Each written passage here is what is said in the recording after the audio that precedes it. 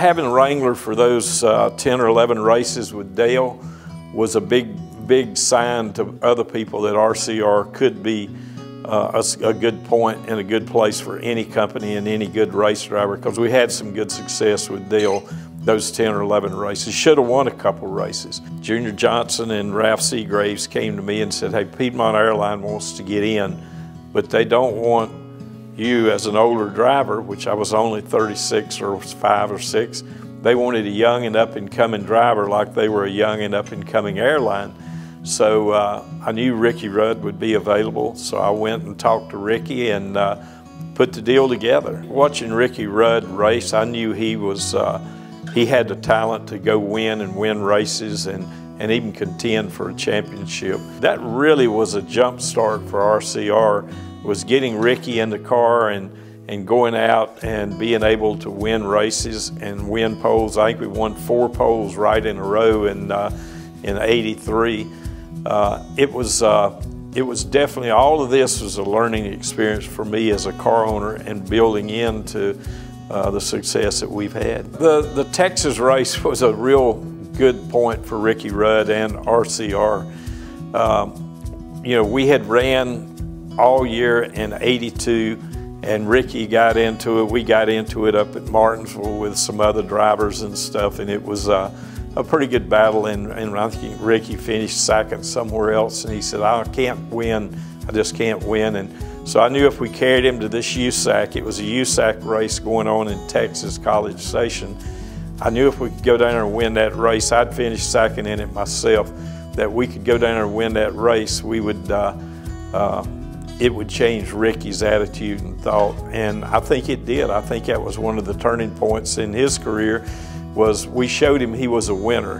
And I remember flying back on the Piedmont Airlines plane and there we had that trophy and, and tell him, say, hey, you are a winner now. So we took off in 83 and won four straight poles and a couple of races. Well, it was huge to win right outside of LA with Riverside. Uh, it made some big media back in the day. And for us to win, and Ricky Rudd was one of the best uh, road racers I think it's been in, in NASCAR. And he was, uh, I knew we had a good shot going into that race if our car would stay together and run. We took maybe six guys with us and we picked up two or three people on the West Coast to help us. And that's how we done it. And, uh, you know, we had a, a truck, loaner truck to go out there with. and uh, But to win that race, it was a big turning point for RCR going to Martinsville and winning. We had had some really good races with Ricky and uh, and be able to win those uh, four poles, I think, that year and win two races. That put RCR as a winning organization and that helped us get Wrangler and get Dale uh, back at RCR. When we ran Ricky in 82 and 83, we learned a lot. We won some races, we won some poles, and that right away that told me that we had put together the right team with Kirk Shelmerdine and the guys to go out there and uh, and win races and be able to contend for a championship.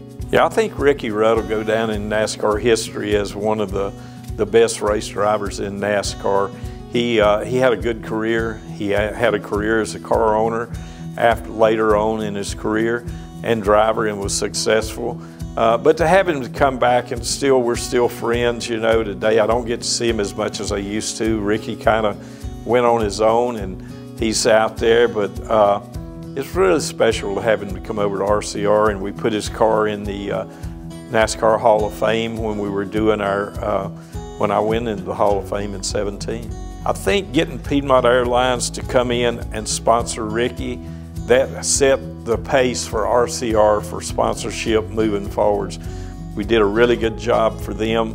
Now, Ricky and I had a uh, two-year deal. We ran for 82 and 83. That's what our uh, Piedmont sponsorship was. Well, Dale and I was in a hunting club down in South Carolina, and he is driving for Bud Moore, and we knew the opportunity was there for us to get back together. And when I do write my book, I'll tell the rest of the story, all the people who were involved in getting that put together.